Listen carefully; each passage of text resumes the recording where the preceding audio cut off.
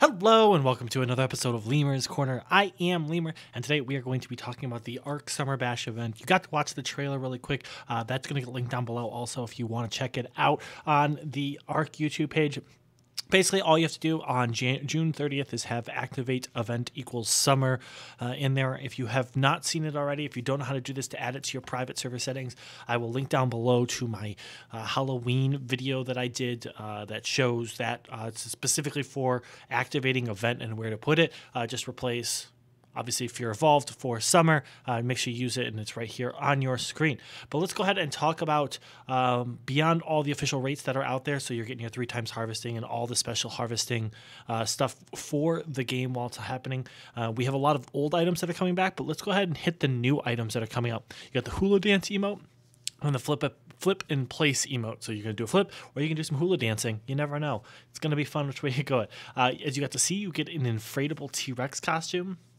some new Hawaiian t-shirt uh, patterns, swimsuit patterns, uh, retro sunglasses skin, uh, which I'm hoping is going to be really cool. Floppy straw hat uh, and the angler hat skin as the new ones, uh, and then of course we have the new chibis coming out. We got the Maui space dolphin, Voidwyrm, deal with it dodo, and the straw hat otter. I kind of more excited for the straw hat otter than anything. Uh, with deal with it dodo, we'll see what that brings for us.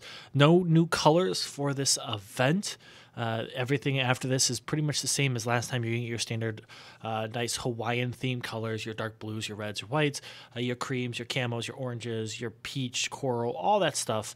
Uh, so you can check all that stuff out. Chance to get chibis, chance to get a whole pile of uh, skins and everything that you could possibly want in here. But that's really it for this episode, guys. I hope it helps you uh, on there. On June 30th, I will be launching a uh, showing you all the new uh, items, the inflatable, the uh, the shirts, the swimsuits, all that kind of fun, fun stuff. As soon as I can get it out there, uh, I will go ahead and get that for, set up for everyone. But I hope you guys are as excited as I am for this Summer Bash event. Uh, I hope you all have a fantastic day, and we see you on the next episode of Lemur's Corner.